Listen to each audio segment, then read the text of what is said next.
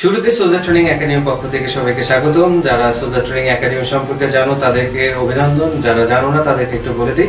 সোজা ট্রেনিং একাডেমিতে বাংলাদেশ সেনাবাহিনী নৌবাহিনী এবং বিমান বাহিনী অফিসার এবং সৈনিক পদে চাকরির পরীক্ষার জন্য পূর্ব প্রস্তুতিমূলক আমরা কোচিং করে এবং এই কোচিং এর ক্ষেত্রে সোজা ট্রেনিং একাডেমি অত্যন্ত আহ, নির্ভরযোগ্য এবং বিশ্বস্ত একটি ডিফেন্স কোচিং প্রতিষ্ঠান।